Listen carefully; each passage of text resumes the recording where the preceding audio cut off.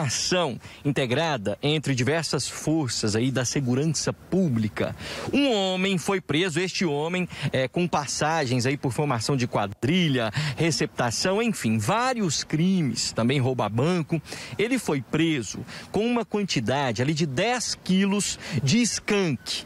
Eu não gosto de falar super maconha, porque parece que é, a, a, a, coloca no superlativo uma droga. Na verdade, é uma droga que o usuário paga mais caro para se drogar.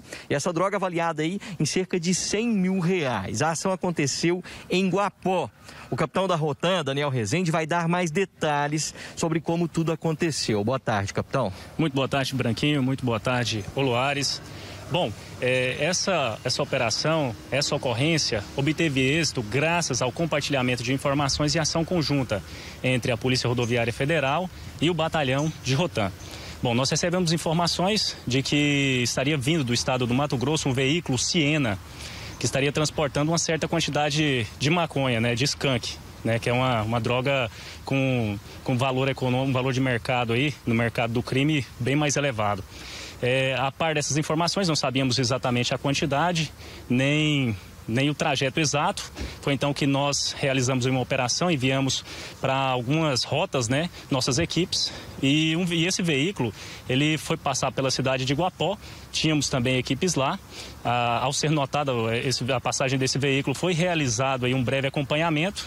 Posteriormente houve a abordagem e durante a busca veicular foi localizado né, de modo dissimulado essa droga, que estaria nas portas do veículo e em outros locais aí, homiziados dentro do veículo. Durante a, a identificação veicular, foi constatado tratar-se também de um veículo clone, ou seja, um veículo que havia sido roubado anteriormente e adulterado com a finalidade do transporte dessa droga.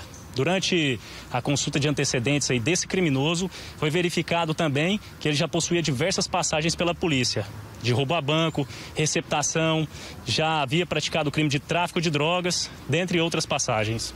Foi numa ação integrada e também ele chegou a falar é, qual seria a destinação dessa droga, se era dele, se ele estava só carregando e ia receber algo por isso? Bom, ele disse que a droga era dele e que tinha como destino final a cidade de Goiânia, né? O abastecimento do tráfico de drogas aqui na cidade de Goiânia.